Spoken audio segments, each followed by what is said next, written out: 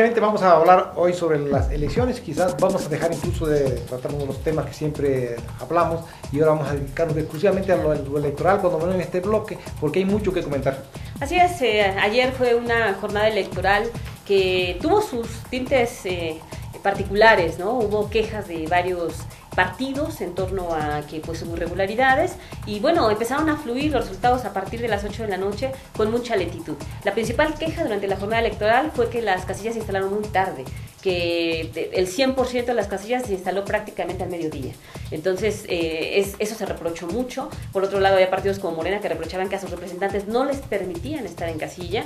Y bueno, eh, ya después en la jornada, pues eh, todos los partidos, diferentes actores políticos salieron ahí a decir que habían triunfado. Sí, es decir, en este momento los, resultados pues, no son oficiales, los resultados son del, del, programa de resultados preliminares, que como su nombre lo indica, pues son preliminares, no son oficiales, pero muchas veces, casi siempre, coincide mucho al final con lo que ocurre en, los cómputos ya finales, definitivos. Y desde luego, pues el triunfalismo que mostró el presidente del PRI, Carlos Iriarte de Mercado, como que no no, se corresponde con la realidad porque el PRI sí, sufrió pérdidas. Sí, hubo un conteo rápido eh, que se que se hizo, por supuesto, em, y con base en las encuestas de salida que ellos tenían, salió el dirigente del PRI después de las 8, cuando empezaban a salir los resultados del PREP, a señalar que ellos no habían perdido nada. El PRI actualmente gobierna 94 municipios, tiene 39 diputados, más dos de Nueva Alianza, que bueno, vienen siendo de la coalición en la que iban juntos y eh, él señalaba que iban a ganar más de 39 diputados y más de 94 municipios. Incluso decía que la, había competencia reñida en algunos de la oposición, como son Texcoco y Nezahualcóyotl, y bueno, pues varias horas después, las cifras vienen a desmentir al líder estatal del PRI, a Carlos Iriarte, porque evidentemente que hay una recuperación, la principal recuperación es del PAN. Acción Nacional crece en el Estado de México y es a costa del PRI. Y yo creo que también incluso su, su ligereza, pues su falta de reflexión sobre el resultado, condujo a muchos medios a también a, incurrir, a caer en ese engaño y a difundir que se habían ganado distritos y municipios que en realidad no había ocurrido. Y específicamente entre sus pérdidas Tú hablabas de que gobierna 94 y que ahora queda con 77, pero aparte de que son 17 pérdidas, derrotas adicionales a lo que ya tenía, eh, se trata de municipios muy importantes entre ellos. Ellos figuran, por ejemplo, Naucalpan, todavía no es definitivo, pero tiene muchas posibilidades de que pierda, Lucan y está también Cuautitlán Izcalli, son municipios grandes. Por otro lado también hay un municipio que aunque no es muy de los grandes, pero tiene mucho, mucho peso, mucho contenido simbólico, Tianquistenco, porque de ahí Jan González. Por supuesto, hay municipios muy importantes que ahorita todavía, digamos que no hay una... Eh, no, no, se puede decir quién es el claro ganador en municipios como Naucalpan, como Huizquilucan, como Cuautitlán Izcalli, porque ah, está bastante apretada la elección, pero Acción Nacional está arriba. Entonces, esto tiene que, enciende evidentemente los focos rojos en el PRI, porque si bien mantienen Ecatepec, que bueno, es imperdible para ellos porque es el municipio del gobernador, Toluca, que es la capital mexiquense, aunque la diferencia no es tan alta como ellos salieron a decir. Ayer en la noche presumían que habían ganado hasta 2 a 1, lo cual resultó ser una mentira también. Hay una eh, reñida competencia en la capital mexiquense y mucho más en Huizquiluca. La diferencia es muy eh, pequeña y seguramente vamos a ver que pues varios municipios se van a definir en los tribunales. Sí, yo creo que los resultados finales no lo van a aceptar los, los que pierdan porque como está tan parejo y van a aducir pues que hubo irregularidades, pero por lo demás si se inconforman, si acuden a, las autoridades jurisdiccionales en materia electoral, pues es correcto que lo hagan porque que lo hagan así, que no bloqueen carretera, que no tomen palacio y desde luego que este pues que presenten pruebas. Sí, eso sería lo ideal y llama también eh, aquí la atención que el crecimiento de Morena. Nosotros podemos decir que si el PAN gana y recupera el corredor azul, es a costa del PRI. Y si, y si Morena gana, pues, bueno, va a refrendar seguramente Texcoco, y por ahí parece que tiene eh, otro municipio donde está competido e incluso ganaría el distrito también de, Texcoco, lo cual le permitiría tener al menos un diputado de mayoría. Eh, y convertirse en la cuarta fuerza a costa del PRD, porque el PRD también cayó. El PRD vive dos escenarios aquí en el Estado de México. Un escenario de desconfianza, donde, bueno, mucha gente le dio voto de castigo, y una realidad muy diferente en Esahualcoyo, donde el PRD arrasó y se llevó el carro completo porque le quita los distritos que tenía al PRI, se está llevando la alcaldía, y ahí sí se puede decir que es irreversible, porque va 3 a 1 hacia el PRI, que es su más cercano competidor, y los cinco distritos. Sí, yo creo que definitivamente el, el PRI sí perdió aquí, la oposición avanzó, pues, pero también hay que tomar en cuenta que la oposición antes era más mayor, tenía más fuerza, tenía más presencia, tenía más espacio de poder. Había nueve partidos que competían. Y, que lo había perdido. Y de luego se recuperó bastante y sobre todo si al final de cuentas recupera Naucalpan el PAN, pues será un gran logro porque Naucalpan es de los municipios más ricos del país, no solamente del Un golpe muy, fuerte para, para el PRI, evidentemente. Ah, tendremos que estar pendientes para ver que, finalmente cómo se resuelve esto, pero incluso el PT lleva a estas alturas eh, un avance en tres municipios, como Amanalco, Tumba y Tonanitla, Nueva Alianza está arriba en Gilotepec, eh,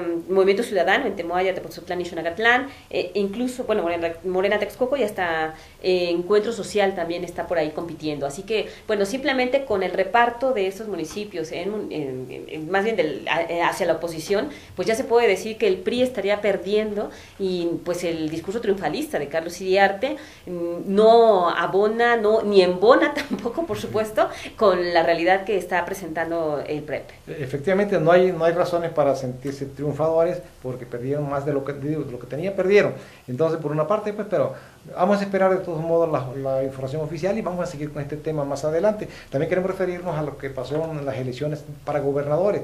La verdad es que, que fue pues, muy notorio que donde hubo malos gobernadores, perdieron los partidos que estaban gobernando, desde luego. El caso de Nuevo León, con un gobernador muy desprestigiado, con acusaciones de enriquecimiento ilícito, con tantas cosas, y desde luego también ahí perdió el, PRI, y la sorpresa que perdió ganó un independiente, y por, bueno, apaleó, le ganó a los dos juntos, al PAN y al, y al PRI, este, el Bronco. Y también Sonora, con tantos problemas que tuvo Padres, tantas acusaciones de enriquecimiento, de fortuna, pues grandísimas. Y pese a que mucha gente rechazaba también a Pablo. Y, ahí con una mala, mala, mala, este, mala candidata, pero ganó. También en Michoacán, obviamente, con cómo manejó el PRI, cómo quedó. Fausto Vallejo tuvo que salir por sus vínculos con con el narco, y en Guerrero, que el PRD también gobernó muy mal, pues también con señalamiento y sospecha de vínculos con el crimen organizado. esos cuatro casos, no se entiende mucho Querétaro, porque en Querétaro el PRI gobernó muy bien, también había gobernado muy bien el PAN y perdió, ahora gobernó bien el PRI y también perdió. Es una de las ciudades sin duda. En, Colima está por verse todavía, en San Luis está viéndose si quién sabe quién vaya a ganar, y desde luego pues Colima no, no tiene mucha oposición el PRI allá, y Baja California Sur tampoco el PAN, ¿no? Sí, la verdad es que también eh, es diferente, ¿no? O sea, se ve cómo vota la gente, pero pues si no hubiera sido por Silvano Robles en Michoacán, la verdad es que para el PRD debe haber sido una catástrofe, porque evidentemente Guerrero la iban a perder. Es el voto de castigo que le tenía que llegar a la izquierda. Y a partir de aquí creo que el PRD también tiene que reflexionar, hacer un alto, porque lo que viene en el Distrito Federal es focos rojos para ellos. O sea, Morena les está ganando, les está quitando la mayoría de muchas delegaciones, muchas diputaciones. Aparte, bueno, el, PRI ganó, incluso Xochitl Galvez del PAN también ganó. Así que, bueno, pues el PRD está cayendo y esto quiere decir que la gente también, que además del Distrito Federal es normalmente gente muy enterada, gente que acude a votar, que ahí no hay tan alto, casi siempre abstencionismo, habrá que ver las cifras finales, ¿no? Como en otros lugares.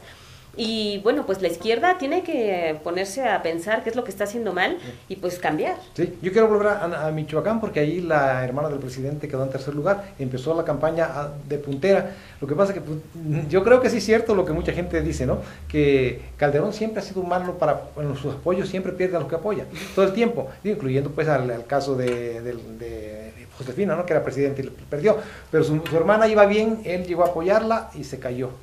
Por el contrario, eh, criticó muy feo, combatió y atacó, al, agredió incluso al, Bronco. El Bronco estaba allá arriba, pero todavía subió más. Entonces, pues también eso hay que, hay que considerarlo, ¿no? Y también queremos volver brevemente a las resoluciones federales.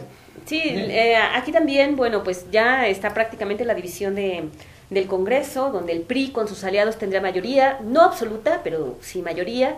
Evidentemente que quien la segunda fuerza, hay un cambio porque evidentemente con el desplome del PRD, quien sale ganando es Acción Nacional, que en la última elección es el partido que había caído hasta el tercer lugar y ahora Acción Nacional va a quedar como en segundo lugar. El PRD eh, va a quedar en tercer lugar, que al parecer va a quedarse con 50 diputados, y los que le faltan, que tenían cerca de 90, se van a Morena. Morena va a tener como 40 diputados. La verdad es que el crecimiento de Morena es muy representativo y ayer en las redes estaban impactadas con una tendencia que decía pierdo como Morena. La verdad es que la figura de Andrés Manuel López Obrador genera, pues, así como mucha gente que esté a favor de él, pues mucha gente en contra, ¿no? Y la verdad es que Morena, pues yo creo que es el partido que menos pierde porque es un partido nuevo y se convierte en la cuarta fuerza nacional. Y yo creo que también tienen que reflexionar porque el Morena está creciendo para costa del PRD, o sea, la misma clientela de la izquierda no han hecho nuevas no clientelas, no han, no han conseguido más simpatizantes, afiliados y votantes de otras fuerzas, no le quitan al PRI, no le quitan al PAN, se están quitando entre ellos mismos y desde luego,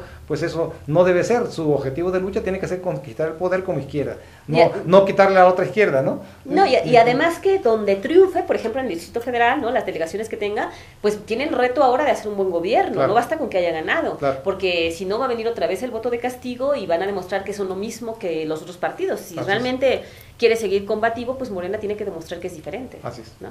Y habrá que ver eh, si realmente lo logra. Pero bueno, por lo pronto este bloque lo quisimos hacer solo del tema electoral por la importancia que tiene. Evidentemente ya que está en las cifras finales vamos a hablar también de esto para ver cómo queda ya la división en ayuntamientos del Estado, que seguramente muchos se van a ir a tribunales, y cómo queda la división también en la legislatura local, que pues el PRI está perdiendo terreno. Vamos a un corte y volvemos.